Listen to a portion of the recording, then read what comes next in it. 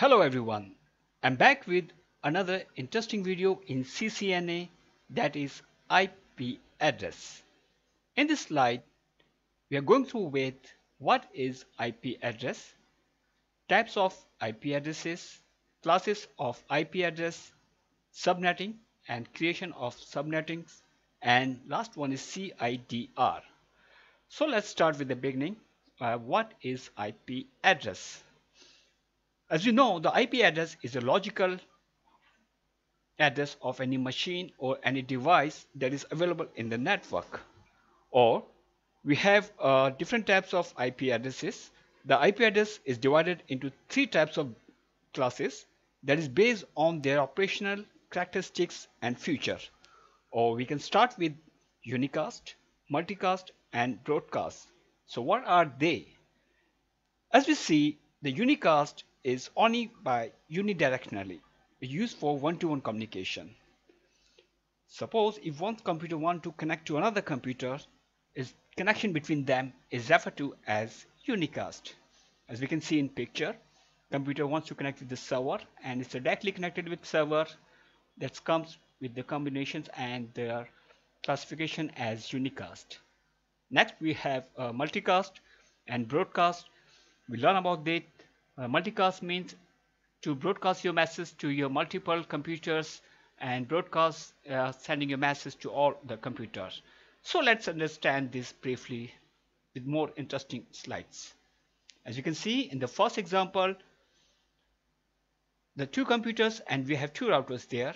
If a router wants to communicate with another router, so it will just send the message or packet to between as a switch or hub to dedicated device and this message is only specific for the router 2 so the both computer cannot listen these packets and the both computer they don't have authority to check these packets and they simply discard it. And the message goes only to router 2 from router 1 on the other, hand we can say the broadcast in broadcast if router wants to send the packets or message to router 2 but here in broadcast mode your packets uh, are forwarded to each and every device in the network to each and every computer.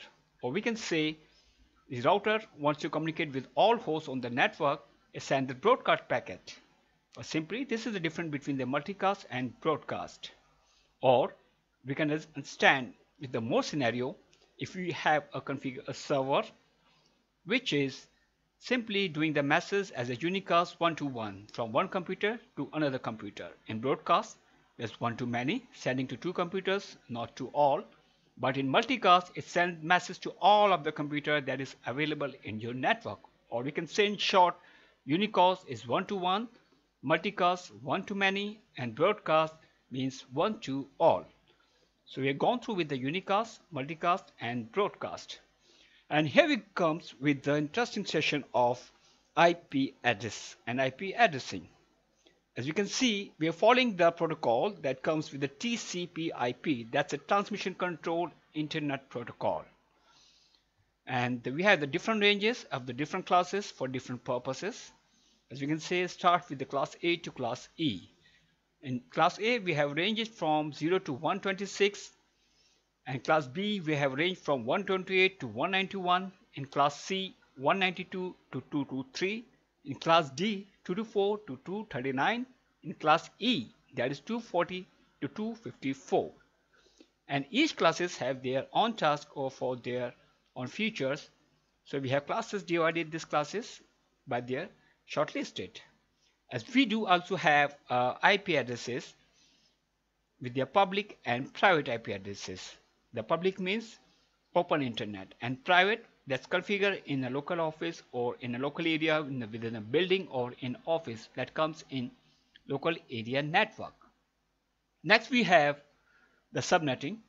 Uh, subnetting is very important. It plays a big role as we know about the IP addresses but we need to configure, we need to manipulate how we can manage the IP addresses. So we don't want to waste it within proper strictly confidentiality and maintaining their integrity. So as you can see in the diagram, there's a clear picture. We have a board department, there's a sales, purchase, and different department finance marketing they are all connected with single switch and switch then connected to next to router so what's here we are missing here we have a security breach because all the computers connected with a single switch within the same VLAN it might be a 10.000 or 192 as configured by your network administrator but here is sales department is also connected with the same switch in your purchase department so attacker or any hacker they mislead the information purchase departments data can be steal by sales department and sales department can access the data of any one department in your network. So what's the role? Here comes the role with how to protect our network with proper IP, IP configuration that is subnetting. Subnetting is a process of dividing a huge network into small parts. As you can see in the picture, we have two switches configured with one router, but we have a different departments. One is the sale that is dedicated to different switch. Another one is purchase that is dedicated to another switch. So we solve here as a problem of security problems and gives access to sensitive information data to exact their department. So we can say sales departments have their own data with their their own VLAN or their own different IP addresses and purchase department they have their own IP addresses on their own VLAN. So they cannot communicate with each other. So the sales have to maintain their own data and purchase. Obviously they have to maintain their own data. Here the roles we are playing here in the subnetting that's said to be a single broadcast domain. Their all hosts are in the same broadcast domain like sales with the sales department, purchase with the purchase department. And we have a network security. Of course, we don't have a security breach problem because the both departments have different routers switches configuredly and third we have organization problem. Of course it gives the sensitive data access to different departments. Or we can say in IP addressing subnetting or IP addressing the IP addresses by the computer will not in the form of their numbers. It can be formed only by their digit by 0 1 or 1 0 in subnet mask, the computers works only with the bits. As we can see, the calculation used to determine the network range is in binary. It can be 0 or 1 as the input 1, input 2 and here comes the output. If the input is 0, 0, the output will come 0. If the input is 0, 1, the output will be 0. If the input is 1, 0, then output will 0. And if it matches with the 1, 1, then output comes 1. It means the configure or computer is triggered the, with the bits and their ranges called the binary AND or OR mode. And next we have IP addressing. As we also know, the computer is only a 0 1 bit, but computer will understand only in digital formation. Computer will understand the language we are going to inform him is just doing in 0110. The language understanding is computer is in binary. If we have IP address of 10.0.0.1, computer will have their own understanding language. It will understanding it by 000110000 and so on. On the same, we have subnet. The computer will translate this subnet into their own binary code. That's a 111111.000 and so on.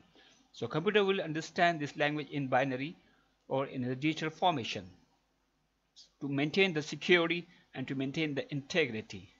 Next, we can say how to create a subnet. Nowadays, the day, the creation of subnet is not a big challenge because we have lots of applications, we have lots of softwares that give you fractions of result within your multi in your fractions of your quick finger seconds. You don't need to go with the pen paper through to maintain a big and huge calculation. We have softwares, we have applications here, and we have a mathematic formula so we can go through with the dividing of the subnet and we have examples here how we are performing this. We have the first how many subnet do we need? Whether it's a 4 8 12 and we to define its power. Power used with the 2 into x equals to number of subnets. Then later on with the next stage follow with the need to find out the how many hosts as per the subnet do we need. And secondly we have 2y minus 2 that is equal to the number of your hosts. So it can be calculated on the basis of the formulas predefined as you manually or has been get the output as per application or any third-party software. So the subnetting examples are calculated can be a class in A, B, C. If you have a 192.168.0.0 slash 24 we require two subnets with 50 hosts per subnet. So here's the calculation. It's very simple as we go since we need only a two subnet so we need a 2 is to 1 power with the 1 in case we meanwhile is borrow the 1 bit from the host as per the calculation part. We are following with the steps. We are following with the one by one steps going to follow it. And we have a steps. Finally we get the number of subnet how many subnet we want to use it and how many subnet we are using in for our network. So it plays a big role when we are configuring our new network because subnetting divided a large network into multiple parts next we have uh, a CIDR CIDR that stands for classless inter-domain routing. Of course, it's a method of public address assignment. So with this, we can overcome with the problem of IPv4 addresses that's executing with the situations problem. So to slow down the increasing demand of the routing tables on the internet routers, we need a CIDR, that's a classless inter-domain routing. Different classes for the different ranges in class A, B, C, for class A, there's a 167 lakh 77,216. For class B, 65,536. For class C, that's a 256. So the number is usable for each and every IP addresses. We can calculate within the following options or following equations. Calculation using 2 to the power of the host bit minus 2 and we get the calculations how we can calculate the CIDR. So I hope you like this video and thank you for watching this video and see you next time for more interesting video. Goodbye and have a nice day.